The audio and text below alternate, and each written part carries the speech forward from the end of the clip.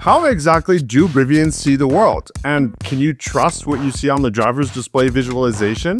Yes, but also no. Let's look at it. We've heard Rivian talk about their perception stack many times. So what exactly does that include and what does that even mean? Well, let's dive into it.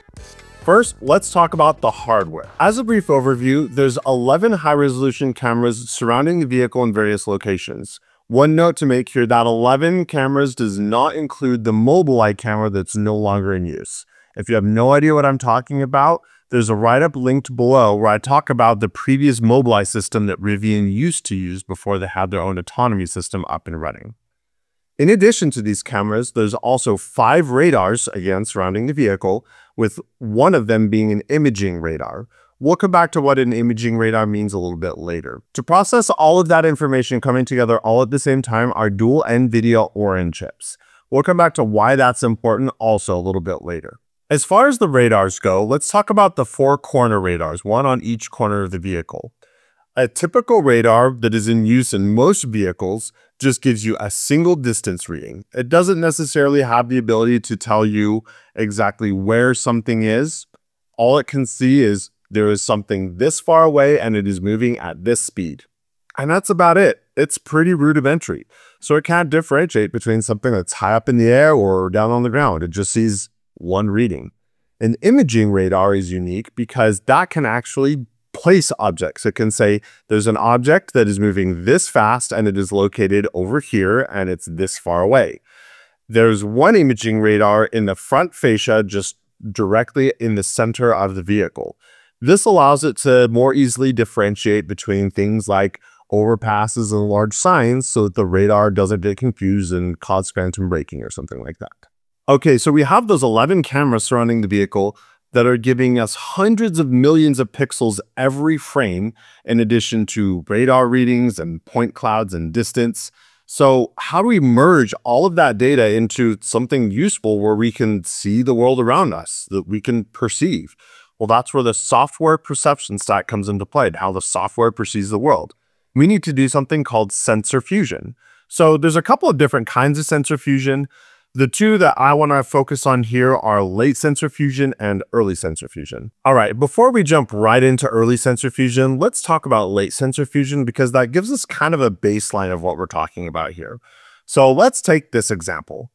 You process each sensor individually. So we have this camera and it's seeing a vehicle here and a vehicle here. And it identifies those things and then passes it on to the AI. And then we can look at this camera and this camera is seeing this vehicle and it's seeing this thing over here. So we can slowly piece together different things from each different sensor. We process each camera and each radar one at a time and identify what it sees. And then eventually you can piece that together and say, well, this camera saw these things in front and this camera saw these things off to the side and build a worldview entirely around the vehicle.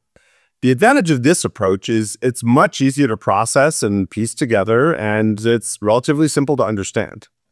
Now let's talk about early sensor fusion. Okay, wait, hold on, hold on. Real quick, before we get into what I found on the drive, if you find this content interesting and if you're thinking about buying a Rivian, use my referral code.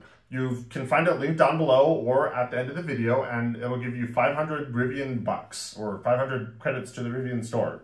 I don't know, they're not called Rivian bucks, but they should be. Anyway, back to the video. Early sensor fusion. This is a little bit different because what it does is it just takes all of the raw data from all of those sensors and just processes it all in one big heap all together. All of the raw pixels, the point clouds, radar readings, all of that stuff. And the advantage of this is it gives you a more holistic worldview and you can process everything all at the same time and get a little bit more nuance of patterns that you see between sensors. As an example that's completely arbitrary, let's say we're looking at this camera right here. You can kind of see this little sliver of something on the edge, but it's not enough to like really tell if anything's there or what it is. So maybe we just throw that out if we're looking at that camera alone.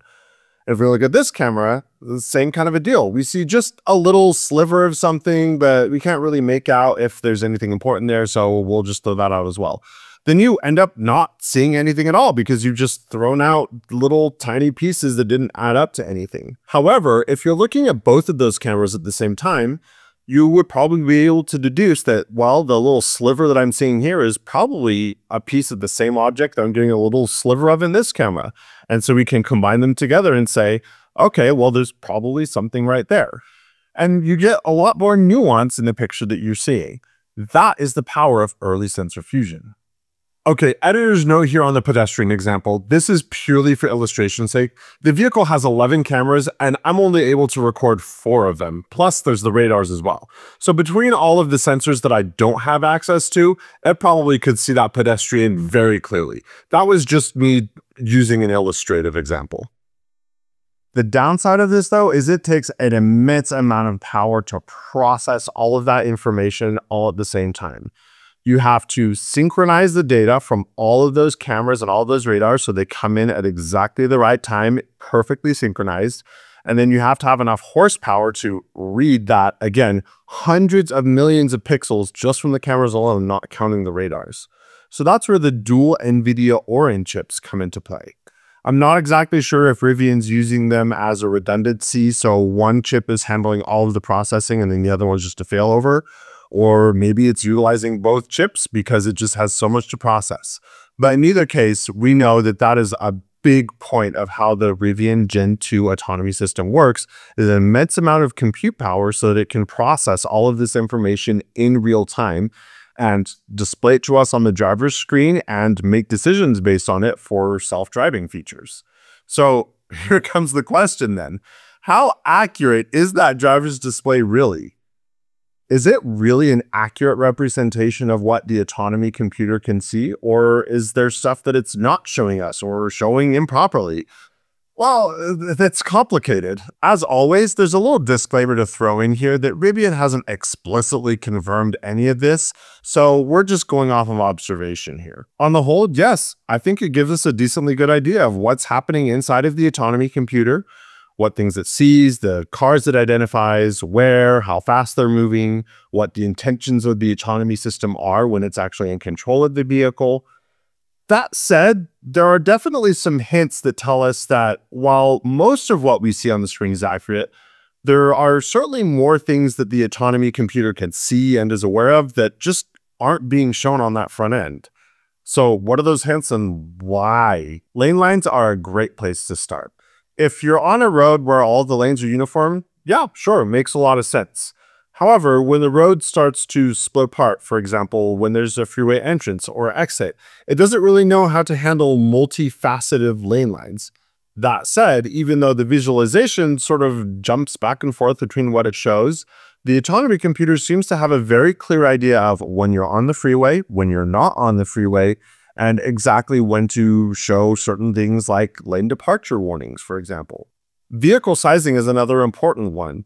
You may notice that it shows a certain static model for any vehicle showing a trailer as a semi, or any van is automatically this 3D model, or any pickup truck is this 3D model, and the sizes don't necessarily change to reflect the size of that vehicle. A very clear example of this is one kind of hilarious moment where there was a box truck parked in a parking lot and the 3D model showed it just completely obstructing my path. However, it wasn't blocking my path and I just drove straight through the 3D model and the computer didn't freak out at all. So that again tells me that the autonomy computer knew exactly how big the truck was and where the truck was, but it was just the 3D front end that didn't have an accurate way to display the size of that vehicle. There are also some subtle hints of what's to come on the driver's display. A while back, they changed the 3D models to have a little bit more detail on them, and every 3D model has very clear cutouts where there would be brake lights. So I think that's a fairly good indication that at this point, they're doing some more AI training to identify brake lights and possibly turn signals so that the autonomy system can act on those and also show us on the driver's display. And this, of course, is going to be incredibly important for understanding the intentions and movement of vehicles around as autonomy becomes more and more, well, autonomous. So yeah, on the whole, I would say while it's not perfect and it doesn't show you everything, the driver's display does give us at least a good idea of what the autonomy computer is seeing and thinking. So next time you see a little anomaly on the screen, a vehicle that doesn't look like it's sized properly or something that jumps around a little bit, It may not be the autonomy computer, it may just be the 3D rendering that we're seeing of it. And there you have it. That's how a Rivian sees the world around it. It's honestly incredible to see how far we've come from even a year ago when I first got my R1. The things that it's learned to see and understand and the stability of its perception has improved drastically. So I can't wait to see where we go from here. it thinks he's driving backwards. It straight up thinks he's just driving around backwards. Oh my gosh, another one. What are the odds twice in a row? That's hilarious. On the track!